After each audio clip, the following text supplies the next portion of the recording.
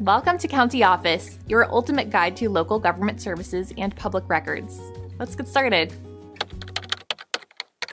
How much does it cost to build a 30 unit apartment complex?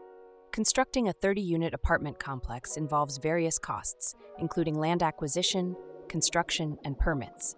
The location significantly influences land prices. Urban areas typically have higher land costs compared to rural regions. Construction costs encompass materials, labor, and equipment. The complexity of the design can also affect expenses. High quality materials and eco friendly options may increase the overall budget. Permits and fees are essential components of the cost.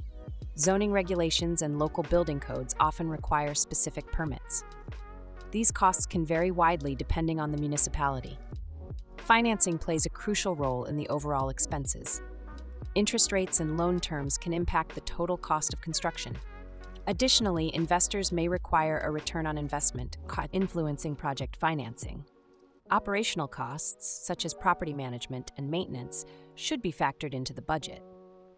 These ongoing expenses will affect the long term profitability of the complex. Market demand for rental units can also influence the feasibility of the project.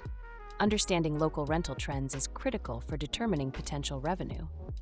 Building a 30 unit apartment complex is a multifaceted endeavor with numerous financial considerations. Proper planning and research are essential for successful project execution.